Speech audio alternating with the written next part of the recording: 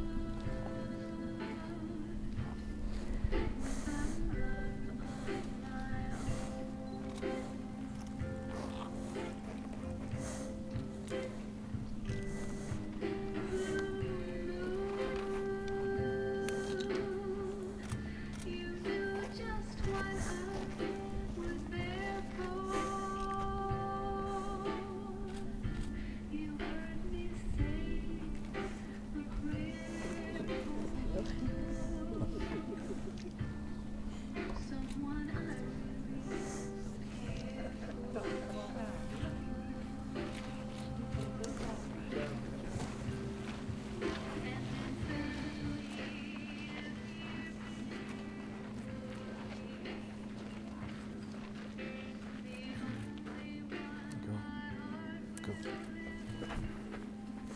Yes. Didn't say run.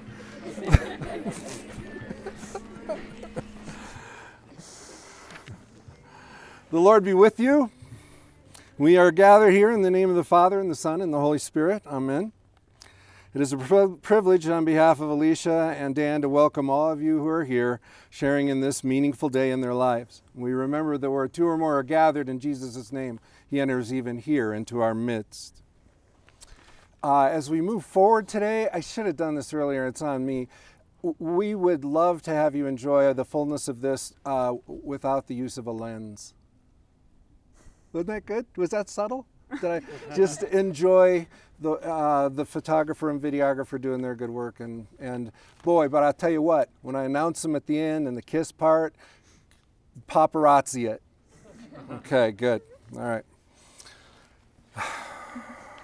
I would like to offer each of us the unique opportunity because these days don't come around all that often to reflect on the people that mean this to us. Those who have said, I do and I will, through their actions more than through a ceremony.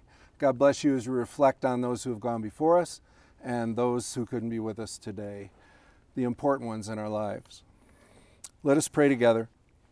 Loving God, we turn to you this day as a source and giver of love. We rejoice in the experience of your presence and are thrilled by knowing your joy in this celebration of commitment. Bless Alicia and Dan by your grace in this decision. Assist them now with the assurance of your power, that they may honor the vows they make today. And bless each of us with your closeness, your love, and your light. In Christ's name, amen. Please be seated. We'll move up in a second. We are gathered here in the presence of God to join Alicia and Dan in marriage, which is instituted of God and to be held in honor by all people. Those who enter into marriage are to respect and love each other, confess weaknesses, and to embrace with compassion when one expresses weakness. To comfort each other and to provide for each other and their household for as long as they both shall live. And so we will hear your declaration of that intent. Alicia, will you have Dan to be your husband, and will you pledge your life to him in all love and honor, in all duty and service, in all faith and tenderness, to cherish him according to the ordinance of God in the holy bond of marriage? Will you? Yes, I will. I will.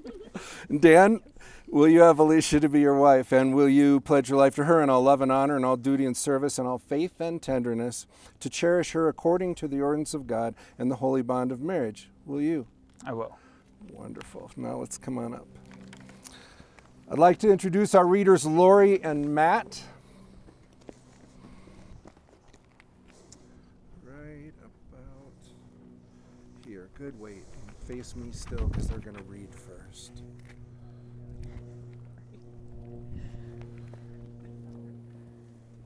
Come right to here and face out, and I'll make this work. Sorry, that's me. A reading from the Epistle to the Corinthians. Now I put before you the best way of all. If I could speak all languages, both human and angelic, and speak without love, I am no more than a noisy gong or a clanging cymbal. I could have the power to foretell the future, to penetrate all mysteries, and even have the faith necessary to move mountains. If I am without love, I am nothing. Were I to give away to the poor all that I possess, and even give up my body as a sacrifice for another, if I am without love, it will do me no good whatsoever. Love, you see, is patient and kind. Love is never jealous. Love is not boastful or conceited. It is not rude and never seeks its own advantage. It does not take offense or store up grievances. Love does not rejoice at wrongdoing, but finds joy in the truth. Love bears all things, believes all things, hopes all things, endures all things. love will never come to an end, so God has given three enduring qualities faith, hope, and love. These three, but the greatest of these is love. Thank you, Lori. That was beautiful.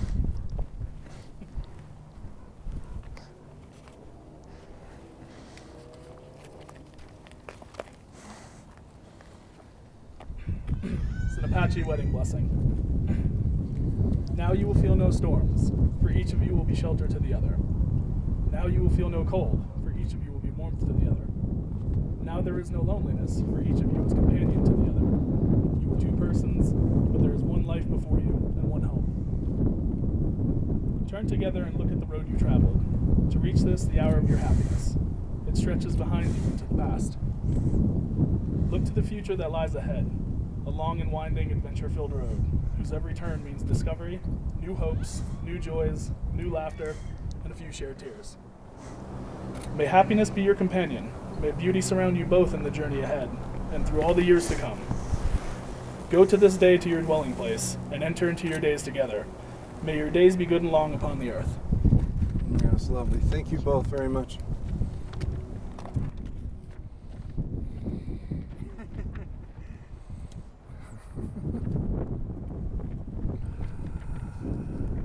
I've been moved by these readings. Um, 1 Corinthians 13, which was the scripture reading first, um, was asked for by the couple that I first married back.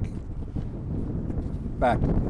And at that point, I remember thinking to myself, when I am an older man, will this scripture still be meaningful to me? Love, you see, is patient and kind. It is never jealous or boastful or rude. It doesn't look for its own advantage. I was very moved by that.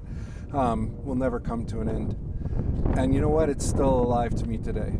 I look into hazel green or gray blue eyes and remember that you're alive and breathing in this place as that scripture is. And I thank you for choosing it. As well as the Apache wedding prayer. It's interesting because the first reading has to do with just theory. This is the theory of love. There's no person mentioned. Uh, it's, it's a larger, it's deep, but it's just a larger reflection. The second one is a community writing to two people. And it's just all about you two There's if no one else around the planet. Now you will be, and this you will be. And it's a super focused in, this intensity. And, and the same comes with this Rob, Robert Fulghum reading that you have from me from beginning to end. This one is very focused as well. So we go from theoretical to intimate and personal. And I, I and believe me, I'm not saying anything negative about theoretical. It's just you can take that or leave it, as opposed to somebody looking at you and saying, now you will feel no pain. See, it's a difference.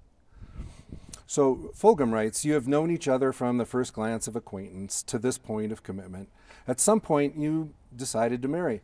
From that moment of yes to this moment of yes, indeed, you have been making promises and agreements in an informal way. All those conversations that were held riding in a car over the meal during long walks or, or during long walks, and all those sentences that begin with, when we're married, and continued with, I will, and you will, and we will.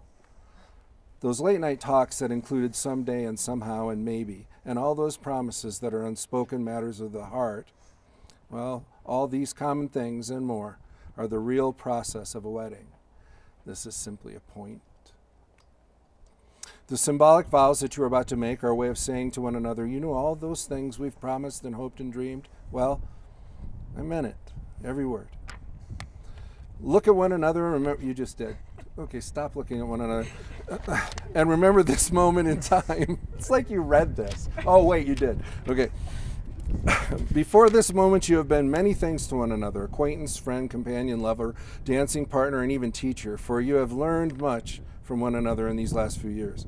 Now you shall say a few words that will take you across another threshold of life, and things will never quite be the same. For after these vows, you shall say to the world this This is my husband, this is my wife.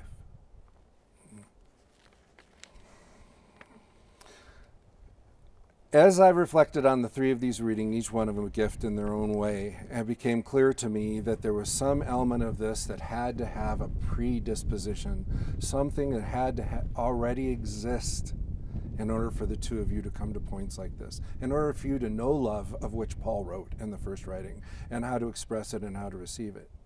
And as intimate as these three pieces are, as intimate as the pieces you gave me about, you're visiting Paul in Boulder. Uh, hi, Paul. And, and, um, and then you guys met each other, and, you know, we're not going to go in the, the, the, the, the two of them were dating or any of that. Is that not a Oh, come on, somebody needed to laugh at that one person. Not even Paul. Paul was like, no. um, and then from college and on, this, these uh, intimacies that, you, that grew were a big deal. And you were in love within a week with each other and you've kept up all these things man you guys are outside all the time every time we've met we've been out on a porch someplace or you know there's just walking involved and there's and whether it be a mindful triathlon or whatever the other elements have been that you've been outside it's mattered I think the gratitude of finding one another and expressing your need for one another has been one of the most wonderful things of getting to know you. Now, Having said that again, as if it were a fourth reading, I'd like to give you a gift, offer a gift that allowed this moment to be. For neither of you were raised in a vacuum, and you didn't know how to love in a vacuum. You were taught. And you practice loving back and caring now with Paul. That's my. You practice loving back and the way that you cared for people and were received or rejected by them. So I'd like you to turn around and receive this gift. All the way around, switch hands. So chance, it's us. Hi. I know.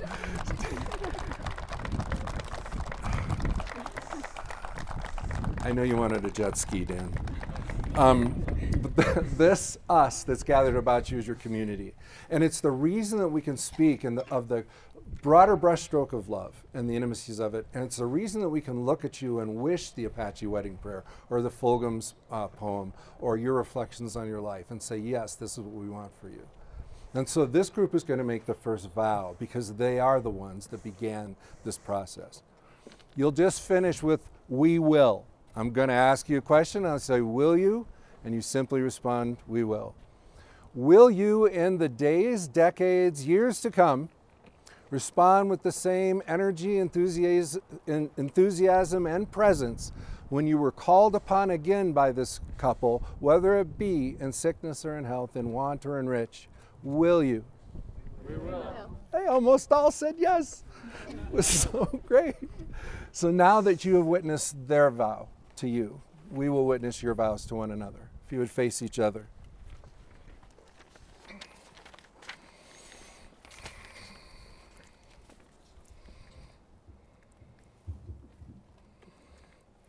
Alicia, repeat after me. I, Alicia, take you, Dan, to be my husband. I, Alicia, take you, Dan, to be my husband. And promise before God, our family, and friends And promise before God, our family, and friends that I will share my life with you. that I will share my life with you. In love and honor, in love and honor, through joy and sorrow, through joy and sorrow, in wealth and poverty, in wealth and poverty, in sickness and health, sickness and in health, for as long as we both shall live. for as long as we both shall live. That's lovely. And I, Dan, take you, Alicia, to be my wife, I, Dan, take you, Alicia, to be my wife, and promise before God, our family, and friends. And promise before God, our family, and friends. That I will share my life with you. That I will share my life with you. In love and honor, in love and honor, through joy and sorrow, through joy and sorrow, in wealth and poverty, in wealth and poverty, in sickness and health, in sickness and health, for as long as we both shall live. for as long as we both shall live. That's great. Joe, have you a ring?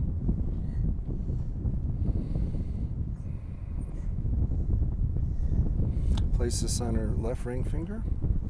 This ring I give you, Alicia,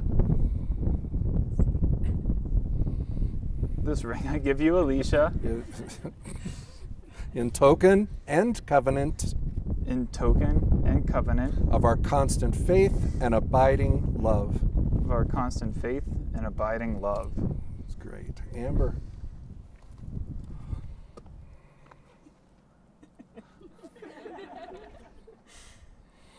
Thank you, Amber. This ring I give you, Dan, This ring I give you, Dan, in token and covenant in token and covenant of our constant faith and abiding love. of our constant faith and abiding love. That was wonderful. They're going to go to the geode, so just keep an eye. Go ahead and walk, and I'll talk about the geode over the music. I've done uh, over 300 weddings in my career, and I love them. And I've never had this expressed uh, symbolically in any wedding. This is a geode that the two of them are going to crack, and um, as they babe. discover what is uh, held within, they're going to take it and offer it to Yeah. their parents. Gotta find the Um, sweet spot, anyways. This constant sense of discovery and returning. Maybe let's try the top.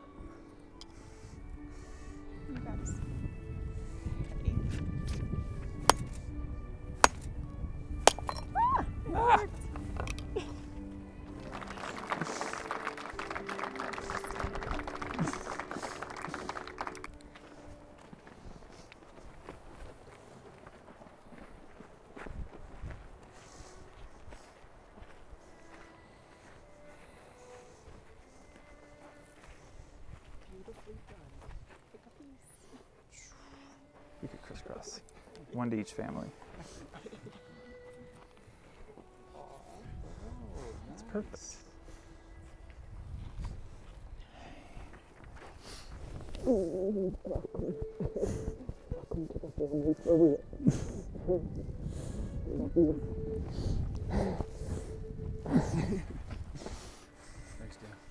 Good luck, buddy.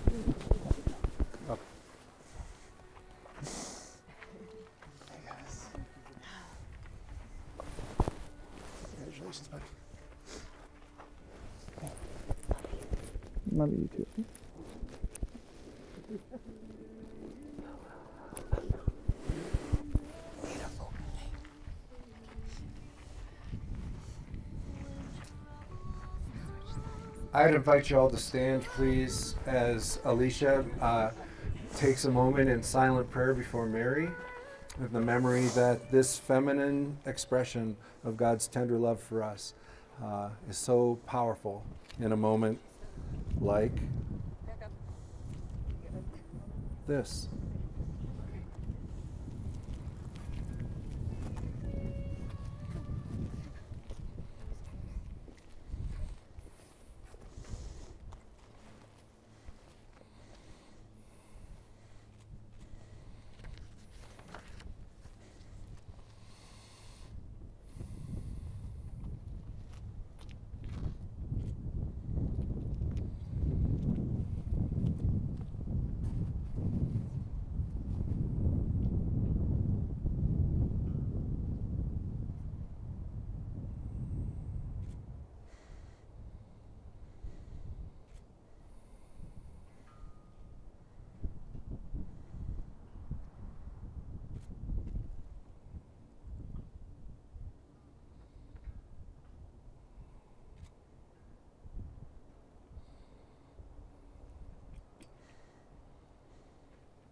Okay, Dan.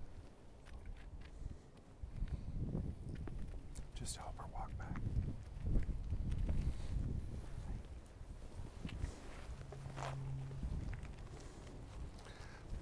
Please be seated. Hands all together, all the way.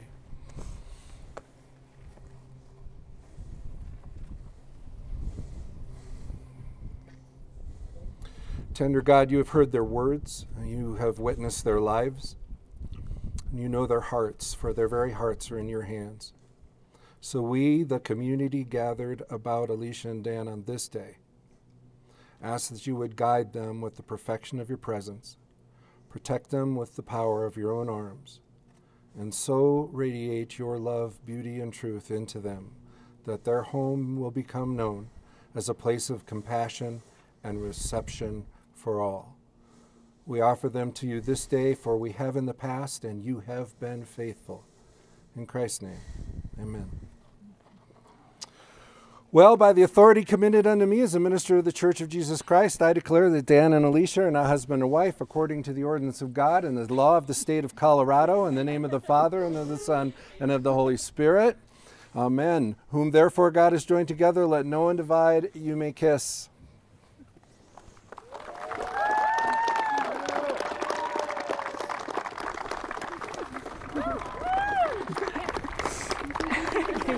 All you.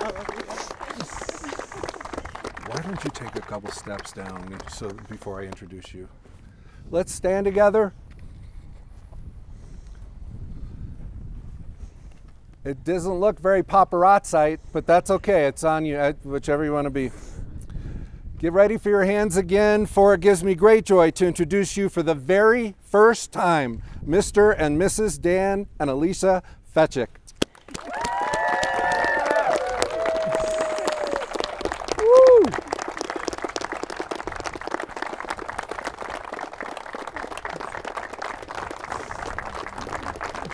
Okay, get together, off your right arm.